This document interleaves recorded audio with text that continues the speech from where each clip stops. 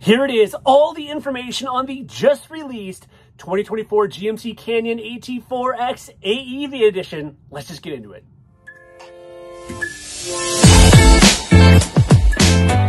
All right, so as I just mentioned, GMC has just released the most capable off-road GMC Canyon ever made. This is the AT4X AEV edition.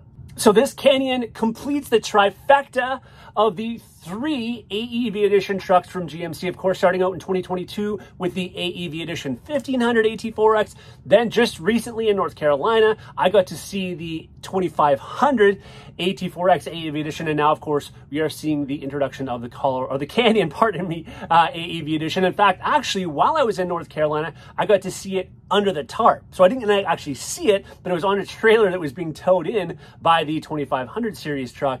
So I've been anticipating this release for quite some time. And let me just tell you right away, this truck does not disappoint. And what I want to tell you first and foremost is as we go through this video, what I want to do for those of you who are just curious as to what, you know, what it's changed from a regular AT4X, that's what I'm going to get to first. I'm just going to list out all the changes um, that are, you know, basically additions to what we already seen in AT4X, the regular AT4X edition what the AEV edition brings.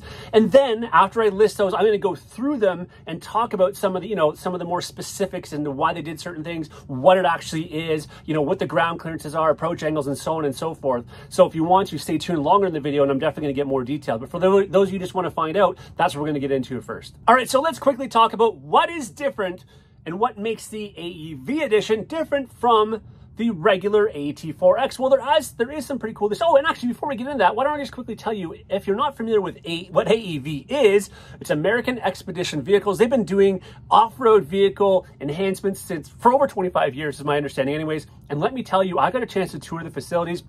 Met a great guy down there, Matt Felderman, and I can tell you this firsthand.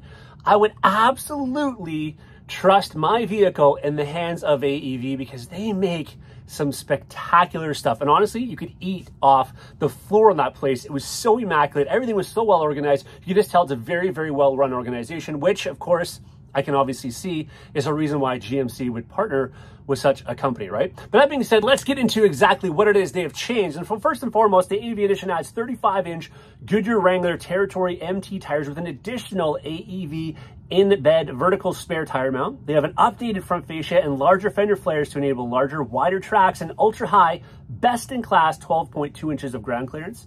They have a 4.5-inch factory-installed lift that's one and a half inches more than the current Canyon AT4X. They have the heavy-duty AEV stamped steel front and rear bumpers with heavy-duty recovery points. They have five ultra high strength hot stamp, hot stamp, pardon me, boron steel skid plates. We're going to talk about that here in a moment. Uh, positioned, uh, and I'm going to tell you where those are positioned. Uh, exclusive AEV beadlock capable Salta wheels, and of course AEV branding across the vehicle, including on bumpers, embroidered headrest uh, restraints, and all-weather floor liners. So those are basically in a very shortened version what they have changed and what they have added to what is already an amazing truck in the AT4X.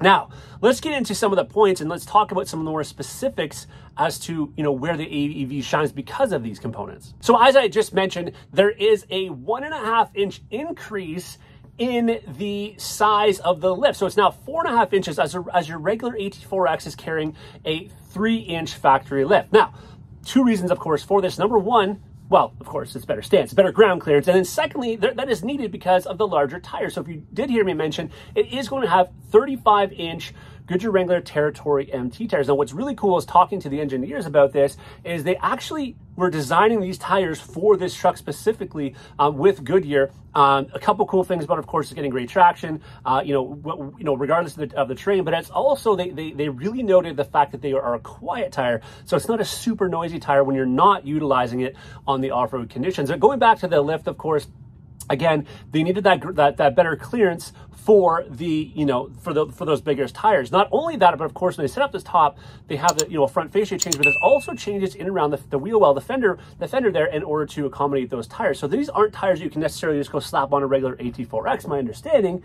Um, it is designed, you know, this truck is designed basically around those tires essentially as well. And these are, best my knowledge, the largest tires you're going to get in a midsize truck from the factory as a factory order. And then these tires are wrapped around some pretty awesome looking AEV Salta wheels. Now, again, these are beadlock capable. So what I read in that, of course, is they're not beadlock they don't come beadlock, but they have the ability to have beadlock on them. And of course, if you didn't already know that, I know this from my off-road uh, Yamaha racing days, is the beadlock wheels, especially when you're sliding, uh, is going to stop from that wheel from obviously coming off, the tire from coming off that wheel, right? So beadlock wheels, depending on how aggressive you are on the off-roading component, um, will be very necessary. And it's great to see that that is actually an option.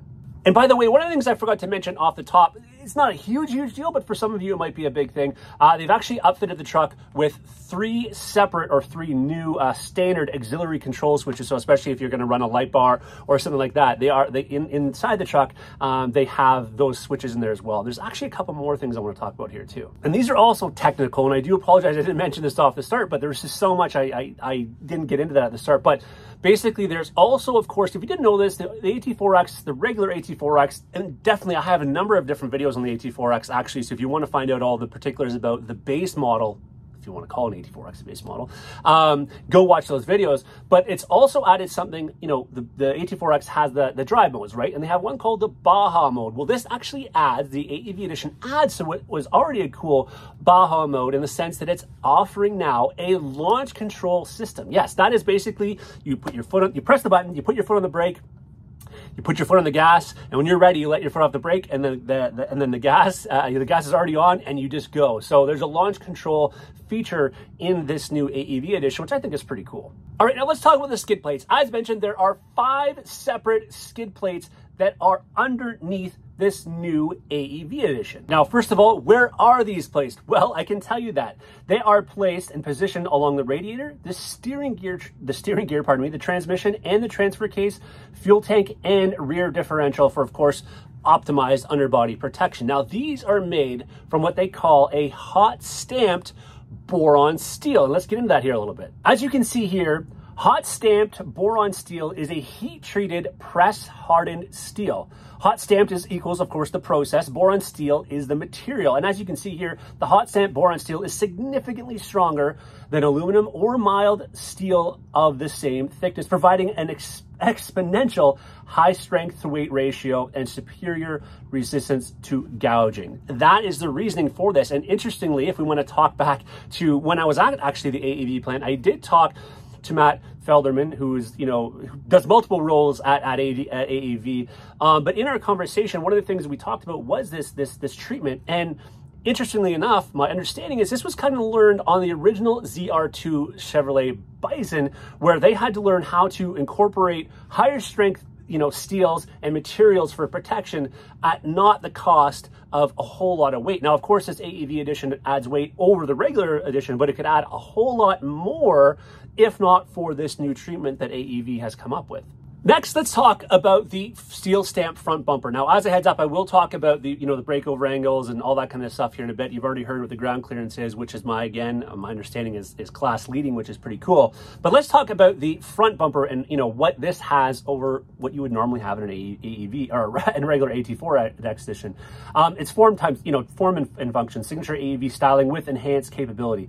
Uh, the high clearance design maximizes approach angle while providing additional protection off-road. There are two chassis mounted uh, recovery points, integrated fog lights, and winch capable with the optional ComeUp winch available. So again, reading that optional is not coming standard with the winch. I do think a truck of this level, this price, if you want one in my own opinion, should have just automatically come with the winch, but I understand not everybody wants it. But again, for the minimal price it would add to the vehicle, I just assume that everyone should have had it hey, it is what it is. And then if we swing around the back, we can talk about the AEV steel stamped rear bumper as well. And what it says basically about that is it's steel stamped construction that complements the front bumper, high clearance design with enhanced corner protection. And by the way, these corners feature removable plastic caps with a replaceable 10 millimeter, 10 millimeter, pardon me, thick steel skid plate AEV to provide this asset, of course, and two heavy duty chassis pointed, uh, mount, um, chassis mounted, pardon me, recovery points. Again, I really like the addition of those caps on there. So if you scratch it, if you damage it, um, you can you can take those off, replace them, and not to mention it just it, you know enhances the look, of course, of it. Uh, you do, of course, lose this step in the rear bumper, but we're not talking about a three quarter ton truck. I think it's pretty easy to step on the rear bumper to get in the back of that truck if you need it. I know it's a pretty cool feature in the regular, you know, Canyons, but um, I don't think many of you are going to miss that, especially if you're a hardcore off-roader, right? Um, so that's another really cool feature there as well. And then all this being said, of course, it's going to retain everything that the regular AT4X has with, you know, the Multimatic DSSV suspension. Um, you know, we've got, uh, what else we have? You know, all the drive modes, as, as I mentioned, you know, numerous ability for cameras underneath the vehicle, around the vehicle. Um, it is going to be coming standard again. There is only one, you know, one size of truck, which is going to be the crew cab, which is going to be the five foot box. And it's only going to have, of course, the 2.7 liter uh, four cylinder turbo, 310 horsepower, 430 pound feet of torque. Uh, by the way, that, uh, you know, there's going to be no gearing differences, the best of my understanding between this as well. And I think the whole idea from what GMC said is this is more about mobility versus mo motivity, meaning basically this is going to be more of a rock crawler, rock crawler tight trail unit with all that extra protection, of course, on it, right? We're going to talk about here about the ground clearances. Actually, I didn't want to forget about that. Um, but again, it's made more for, you know, your, your, your kind of, you know, really more aggressive off-roading versus the AT4X, which is maybe more, lend itself more to a little higher speeds, more Baja, more sand, that kind of stuff. So there is some definite differences between these two trucks. I don't think necessarily one is better for somebody than another. Of course, we have some additional features with the AEV edition, but all that being said, let's dive into very quickly the uh, you know the ground clearances and the breakover angle uh, you know measurements on this. All right, so as you can see here, it's gotten stacked up against the Ford Ranger Raptor and the Jeep Gladiator, of course, two of its, you know, sort of competitors, I guess you would say. The approach angle is 38.2 degrees. Um, the only one that has better than that would be the Jeep Gladiator. The departure angle is 26 degrees. The breakover is 26.9 degrees, which is best in class of the three of these for sure. The ground clearance is by far the best as well at 12.2 inches. And of course, again, leaning back to what I talked about, those 35 inch tires will be the best in class, uh, you know, comparatively between these as well.